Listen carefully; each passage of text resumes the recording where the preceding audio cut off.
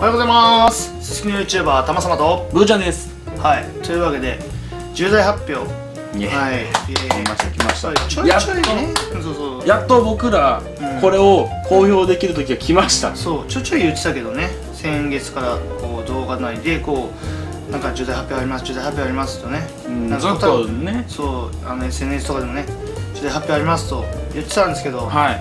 ついに形になりましたのではい。はい、発表したいと思います。はい。はい、ニコ生超会議2018。はい、こちらのイベントですね。はい、皆さん知ってますよね、これね。はい。知らない方もいるかもしれないんですけども、はい、調べてください。はい、こちらのイベントで、えー外配信ゾーン。はい。そちらのブースの方で、僕ら招待枠に受かりましたイエーイはい、というわけで招待枠の方で、えーやってますので、えーそちらの方が、え2日間なんですけどニコ生超会議、はい。2829ね同日であるんですけど、うん。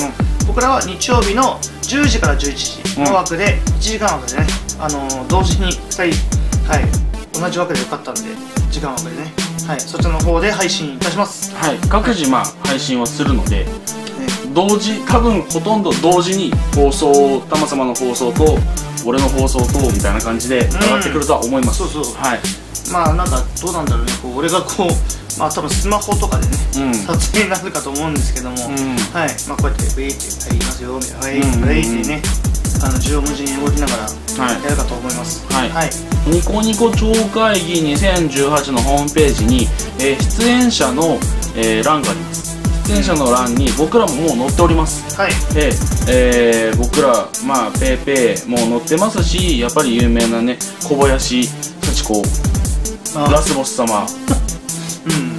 とうとう。あとはうんとなんだっけ山田久志さんも載ってました。うん、うんあのラジアンリミテッドをやってるね、はい。うん、山田久志さんも載ってましたしそういう有名人の方たちも、うん。あの基本的に出演される方うん。ニコニコ超会議のその企画の中での、えー出演される方基本全員、えー多分載ってるんだと思います、うん。僕らも載ってるので、そうですね。はい、もしよければねそちらの方を見ながらねこういう人もいるんだっていうふうにうん。確認もしていただきつつ、はい。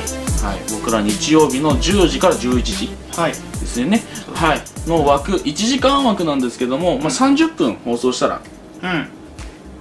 放送切るかどうかはちょっと うちら次第。まあでうん。任されてる部分もありますので、そうですね。はい。はい。最低限30分は放送してよっていう話もありますので、はい。そちらの方は放送しつつ、はい。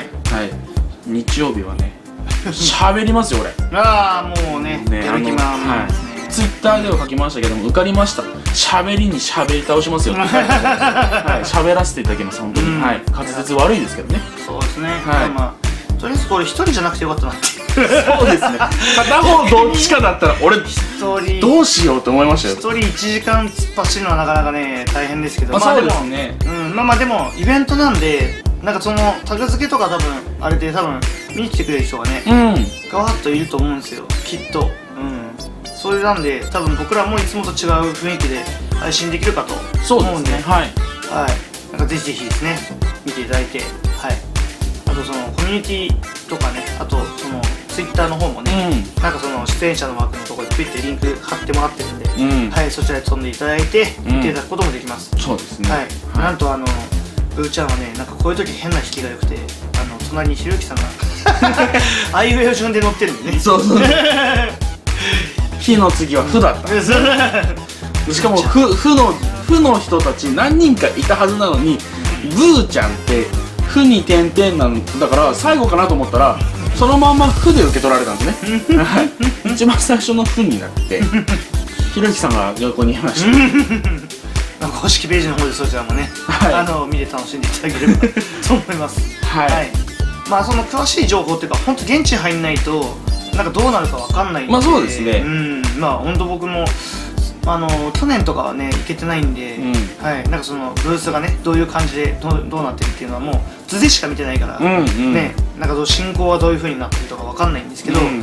はい。なんか今から楽しみにあの待ってますんで、うん。はい。あともうもうねあのブーちゃんともね初めての動画旅行ということで、えーそうですね。飛行機を使う。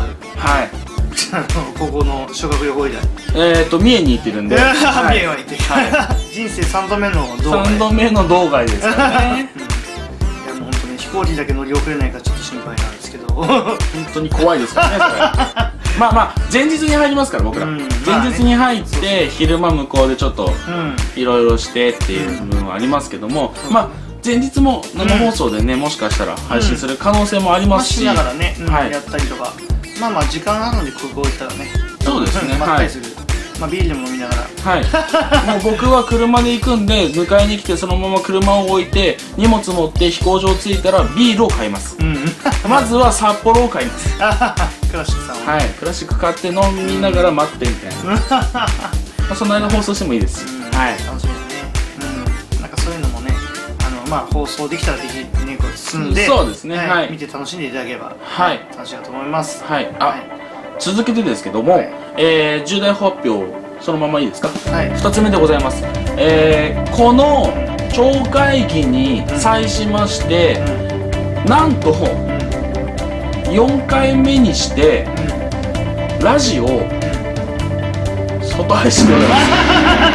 外配信でございます そうなんですよね。まああのラジオもね実は実はっていう。まあちょっとまだちょっとどこでやるかとかって決まってないんですけども、えーもしかしたらどっかのお店さんでやってる可能性がございます。そうですね、はい。来週日曜日なんでね。はい。これだけは守らなきゃいけないと思うのではい。あんとラジオをやっていきますんでそちらの方も見ていくとよろしいなと思っております。はい。バッテリーが持つかっていうのはね スマホのバッテリーが怖いですよ。1時間生放送したけど携帯めっちゃ集まるんですそうよねなんですよね。